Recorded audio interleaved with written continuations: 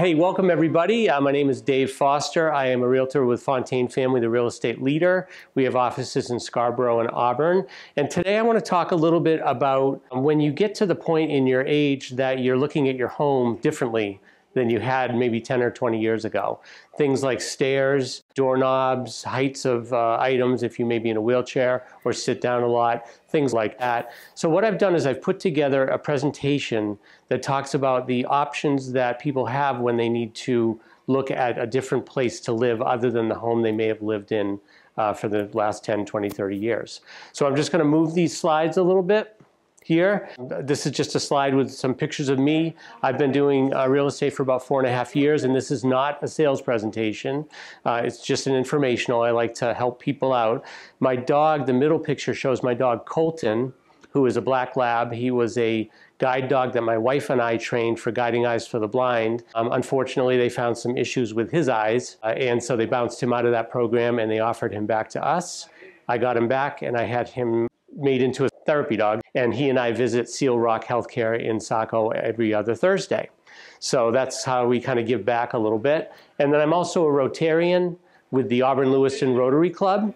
And I've uh, been a past president of that club, and I like to do a lot of the um, service work in the community. So my goal for this is not to um, try to like sell anything. It's just to tell you what options there are from what I've learned with my experience in the housing industry. Okay, so this first slide I want to show you is very interesting. This slide shows the uh, size of homes relative to the amount of people that lived in those homes from the past. So it starts in 1790. Back in 1790, the average home was 831 square feet. And it had almost six people in it. You can see the last person there has no legs. Um, so it had almost six people living in a 800 square foot home. In 1860, there were a little less, about the same people, but the housing had gone up to about 888 square feet. So a little bit bigger home, a few less people, or a little bit less uh, number of people living in the homes on average. In 1950, or 1910, sorry, it's hard to read these slides, there were four and a half people living in a home, but the homes had now gone up to 945 square feet. So homes were getting bigger, the number of people living in the homes was going down. In 1970, there were three, a little more than three people, just three people plus the top of the head of that one on the bottom right, in a 1,500 square foot home. So now we've got a really pretty large home with only three people living in it on average. And in 2019, which is what that number says, the average home was almost 2,500 square feet, and there are two and a half people living in it. So we've got people looking for homes and we've got people that are aging out of their homes, and we're trying to figure out a way to, um, you know, make it so that everybody can be happy in, in a win-win situation. So just want to read this. One recent national poll from the University of Michigan's Institute for Healthcare Policy and Innovation, sponsored by AARP, found that 88% of Americans ages 50 to 80 wanted to live in their homes as long as possible, but only 15% had given a lot of consideration to the home modifications needed to do so. So people want to stay in their homes, but they don't understand what modifications they might need to live there safely. So the next slide I have is the universal design features for aging in place. So here's a list of some of the features that people would use to modify their homes so they could stay their homes longer. So we've got at least one step-free entrance, so an entrance that's easy to get into. Very hard in Maine to find those because we've got a lot of snow. So we typically have one, at least one, usually two steps to get into a home just to get us above the snow line so that we don't get water coming in. Uh, bedroom, full bath, and kitchen on the same level, and this is what people face a lot with these uh, old capes in uh, Maine where they have one, two, or two or three bedrooms upstairs and a kitchen, living room, dining room downstairs, but no bedroom downstairs. So they have to get up and down the stairs to be able to uh, go to bed. And that's when people start to really feel their age, is when they have to go up or go down the stairs. Uh, wide doorways and hallways. We need wider doorways and hallways. Obviously, if you're in a wheelchair, walkers, that kind of thing, we need more access width-wise. Lever doors and faucet handles. So instead of having a knob, we have a lever. They're easier to push up and down relative to our hands getting a little harder to move than doorknobs are to spin. Multi-height kitchen countertops. So we have, you know, if we're seated, we can use the kitchen countertops. If we're standing, we can use the kitchen countertops. So there might be two levels of kitchen countertops. I actually saw today online a pull-out thing. It just pulled straight out and then it clicked down and the person could stand on it and get up into their cabinets. And then they just picked it back up, slid it back into the cabinets where you couldn't see it. It's a very cool design to be able to make it easier for people to be able to get into the higher cabinets. Bathtub or shower with non-slip bottom, obviously. Blocking in the bathroom walls, so grab bars can be added. So some of our bathrooms have showers that are, there's nothing behind them, it's just plastic. So it's hard to put a mounting handle on there to grab and get in and out of the shower. Sometimes we have to drill bigger holes and put mounting in behind there. That's a modification that happens quite often. Well-lit hallways and stairways, we don't, don't even think about that, right? The light's always been the way it's always been. Next thing you know, we can't see anything because where our eyes are a little less able to see in the light or the lights get a little dimmer. Secure handrails on both sides of stairways rather than just one side or no sides and easy opening windows. So those are some of the modifications that people will do to their home to stay in the home longer. So now I'm just, then I made a list of post-home um, home ownership housing options. A lot of these you're gonna know, maybe all of them you know, but a couple of them you probably never heard of. I, I saved them for the last. I always save the best for the last. So let's go through these. I'll just go through them quickly. Age-related communities, by law, at least 80% of the homes in these communities must include one resident age 55 or older. So you've heard of those, the uh, condominium complexes that are 55 plus, and that um, allows people to get in there. They're made for people who might be older as far as being able to walk. Some of the services for pools, uh, community service buildings will be retrofitted so it's easy for older people to access and use them. Senior apartments, these rental units are typically restricted to people 55 and older, and most times will come with an elevator. Group homes, um, not to be confused with house sharing. Uh, the group homes are a form of assisted living with some care, and residents have a shared or private room in the state licensed homes. So these are more like what we would call nursing homes. The house sharing, that would be like if you have a group of friends and you decide we'll all go in, we'll sell our homes, in on one apartment together that fits all of our needs. A lot of people think of the Golden Girls, very funny show. So a lot of people do that. Nesterly, I think I had that later, so let's skip that for now. The village model, not to be confused with the village people, the village model uh, lets people remain in their own homes longer by creating their own support network. So maybe you have a group of neighbors in your neighborhood that want to share services like plowing, lawn mowing, even bringing food in. Now you can get food delivered from Hannaford or, or Shaw's. That way they can stay in their homes longer, but, but not risk their health by having to do things that they're not quite able to do anymore. Um, assisted living, you go in there and you have people helping you out with medication, maybe getting up, uh, maybe getting baths, things like that having meals done and, and, things. Memory care, this obviously is for when, if we run into things like Alzheimer's or uh, dementia where we need to have more care, maybe even a locked area. So my dog and I, when we go to Seal Rock, we actually visit what's called Secure. And that area, I have to punch a code to get in so that we, because they don't want those residents walking away. And that, I gotta tell you, of my whole week, that is my favorite time of the week because it's very calm, typically. Um, I really like it there. I get to go in, I get to see my, my people. Continued care re, uh, retirement communities, the advantage of these communities is continuum of care. So Seal Rock, and again, this is not a sales job for Seal Rock, but I've been visiting there since 2011, so I know quite a bit about it.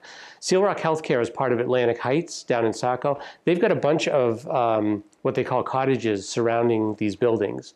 Then they've got a four-story apartment building. Um, and they have uh, memory care also in that building. So what they've got is people move into these cottages, and when they uh, age out of the, even the cottage, they move into the apartment where there's more care. And then when they need even more care than that, they age from the apartment into the what we call nursing area. And then we have accessory dwelling units. That's this bottom one here. That's the one that is sort of got the big buzz now. You may or may not have heard of ADUs or accessory dwelling units, but the state of Maine uh, passed a law that made it easier for home owners and owners of land to get more density on their land. And what that means is they can build more buildings on that land. Now, an accessory dwelling unit should be thought of something like a granny flat or a mother-in-law apartment. So in the old days, you know, we would have a, garage and we would retrofit that garage to set up mom so she could stay with us. We could keep an eye on her.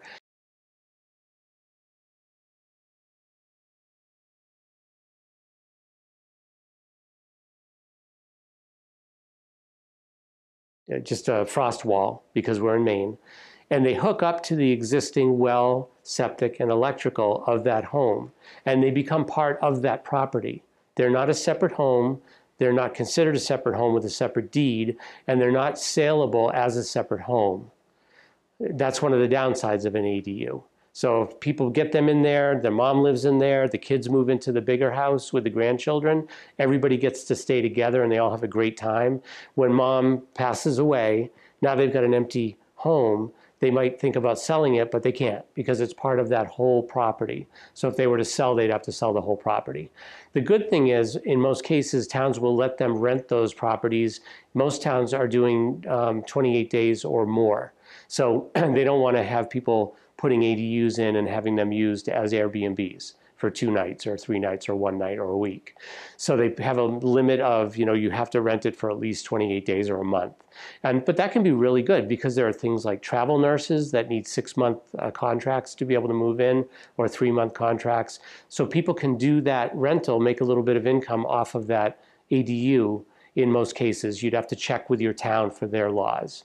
But this right here um, is a company called Nesterly. I believe they're out of Massachusetts. I don't know a lot about this, but I know enough um, about it to tell you that what they do is they take application from people who are older. One or two people might live in a home. A lot of times I believe it's a single person. So one of the spouses may have passed away. There's one left in the home, but the home is, you know, the, the lawn, the, the driveway may get plowed, but then they've got sidewalks that need to be sh uh, shoveled and some salt put down and you know made safe for walking. And what this company does is it vets younger people who need a place to live. They make sure they have a, a good job. They've got references. They do a background check to make sure that they're safety-wise a good risk. And they put them into these homes with these older people. They pay rent, so the older people have some, have some income from this, and they get some help in um, the chores around the home. That's a brand new thing that's sort of happening and uh, you'll probably see more about that. But again, the ADUs and Nesterly, those two things are sort of the newer type model. And it's not like it hasn't happened in the past. All of this has happened in the past. It's just that it's becoming more systemized to help alleviate the problem with younger people looking for places to stay, older people wanting to stay in their homes. The two together might be a great combination for you. Um, so I just wanted to talk about downsizing options. The average cost of assisted living in Maine is $6,222 a month. The average cost of rent at a 55 plus community is $2,800 a month. And the cost of an ADU fully financed with an 8% interest rate is $1,985 a month. So that, said, that, that basically says if you put an ADU in, it might be a little bit less than if you tried to go live in a condo or assisted living if it worked for you, if it made sense for you and your family, you would be in a situation where maybe the family moves into your home, you move into a really nice new little ranch, and um, everything's easy to access, and the family's there to keep an eye on, on you, and again, you keep an eye on them. It's probably more like it. Um, a lot of the ADUs are being built in Maine down in the uh, Portland region, uh, Cape Cod, Western Mass. There's a company called Backyard ADUs, and full disclosure, my son-in-law is one of the principals of that company, and that's the reason I kind of did this presentation was because after talking with him over the past couple of years, I've learned about what it is ADUs are and what the value might be to the um, older cohort in our state. Scarborough has had an excellent accessory dwelling unit rule since 2002. They allow all types of ADUs by right, this means homeowners can build a second small home on their property without applying for a special permit, which saves time, aggravation, and money. However, there are some restrictions here. So they talk about the size of the unit in this case, about the size of the living unit. If it's under 2,000 square feet, the ADU can be up to 750 square feet. And a lot of the ADUs are about that, that size. If it's 2,000 to 3,000, it can be 750 square feet or 35% of the home. So bigger. And you can see that as the home gets bigger, the ADU possibility gets a little bigger also. I don't have that on this slide here, but I did read on site, and you'd want to check this out, that there are restrictions on number of days that you can rent an ADU out.